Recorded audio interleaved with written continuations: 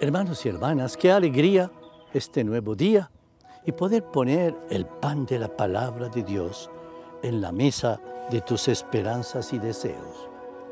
Tomamos el Evangelio de la liturgia de hoy, Mateo capítulo 24. Cierto día Jesús dijo a los discípulos, estén en vela porque no saben qué día vendrá su Señor. Comprendan que si supiera el dueño de casa a qué hora de la noche viene el ladrón, estaría en vela y no dejaría abrir un boquete a su casa. Por eso, estén también ustedes preparados porque a la hora que menos piensen, viene el Hijo del Hombre. Donde hay un criado fiel y cuidadoso, a quien el amo encarga de dar a la servidumbre la comida a sus horas? Pues dichoso ese criado si el amo al llegar lo encuentra portándose así. Les aseguro que le confiará la administración de todos sus bienes. Pero si el criado es un canalla y pensando que su amo tardará, empieza a pegarles a sus compañeros y a comer y a beber con los borrachos, el día y la hora que menos se lo espera, llegará el amo y lo hará pedazos, mandándolo a donde se manda a los hipócritas. Allí será el llanto y el rechinar de dientes. Palabra del Señor, gloria a ti, Señor Jesús. Alégrate porque el Señor nos dice hoy que tú y yo somos administradores.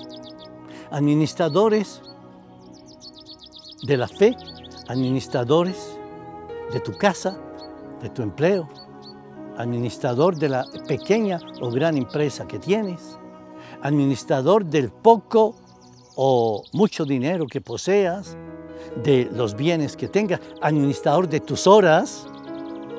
A veces pasamos un día en un ocio inmensamente improductivo cuando pudiera ser tan productivo. Estén en vela, estén vigilantes, dice Jesús, para no dejar pasar las horas en vano ni torpemente. Hoy la iglesia nos recuerda la figura de una mujer, Santa Mónica, que supo administrar muy bien su papel de madre. De madre que al quedar viuda sigue dedicada sobre todo a uno de sus hijos que estaba un poco descarriado, equívoco, buscando aquí y allá sin poder ubicarse. Ella, Mónica, se dedica a este hijo, a orar por ella. Dice inclusive la historia que lloraba por ese hijo al verlo que en vez de acercarse a Dios, a veces se alejaba, se desaparecía se iba de las manos del hogar, de la verdad, del bien. Y ella oraba y suplicaba, Señor, que este hijo mío te encuentre. Y llegó el día en el cual ese hijo realmente le encontró, ese hijo que luego llega a ser San Agustín. Pero ella supo administrar no solamente sus bienes, como esposa, como viuda, como madre, sino que supo precisamente administrar todo para que su hijo tuviera el bien. ¿Cuántas Mónicas existen hoy? ¿Cuántas madres están sufriendo hoy por sus hijos, a veces descarriados, a veces están metidos en caminos oscuros, en caminos que les alejan de la realidad? que los meten dentro de unas tempestades que los van gastando y acabando. Pues no hay que desanimarse.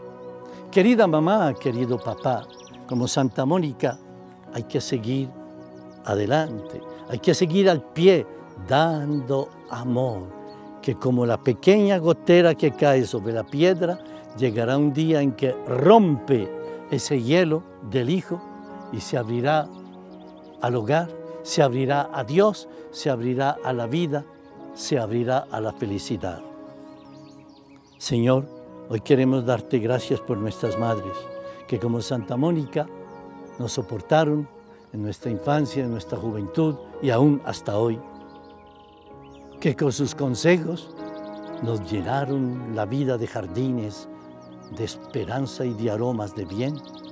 Que con su sonrisa, su cariño y su caricia hicieron tersa nuestra vida cuando la creíamos tan dura y fangosa.